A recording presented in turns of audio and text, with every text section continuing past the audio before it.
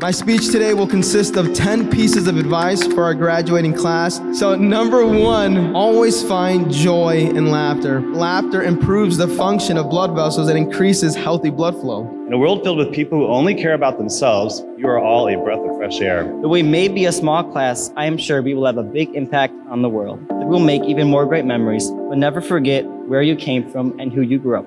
Secondly, remember love wherever you go in life. Nathan, you left and then you came back.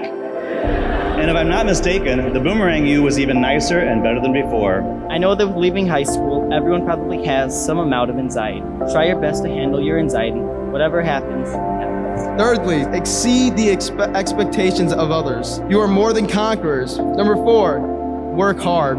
Whatever you do in life, work at it with all of your heart as if you're working for something greater. Hannah, who goes out and makes a one woman sports team? You do. I'm pretty sure we've all had that awkward moment when we're in a hallway and we run into another person. I couldn't leave this gym without mentioning Diego.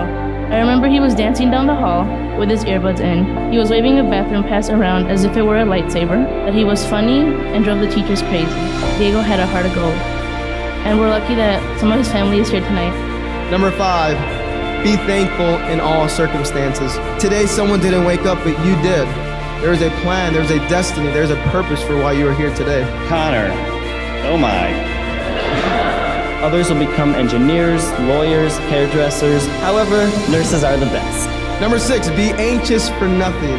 When you step into the real world after today and you begin to meet new people, be at peace. You got it, man. Graduation isn't just about us, it's about the bigger picture. Alan, the striped shirt that you always wore under your HAST uniform, you will forever be the hamburglar in my mind's eye. Number seven, have faith for the impossible. Meaning the things you hope for in life, be convinced that they are yours. My encouragement to you is to run until you achieve what you are looking for.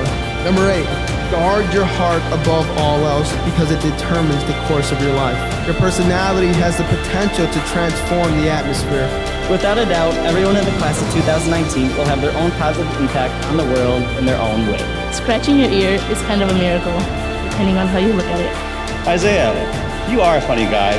Though you may be vertically challenged, people definitely look up to you. Number nine, never forget who you are. Our memories will live on within us for as long as we'll have them. Finally, always consider time. Consider time because one day it's your first day as a freshman walking into those doors of HAST. And by the time you know it, you've graduated college, you're married to a beautiful lady by the name of Claudia, and you have a son by the name of Joseph River. Guys, I'm gonna miss you all. Congratulations, 2019 class. Ladies and gentlemen, please move your castle to the left. We'd like to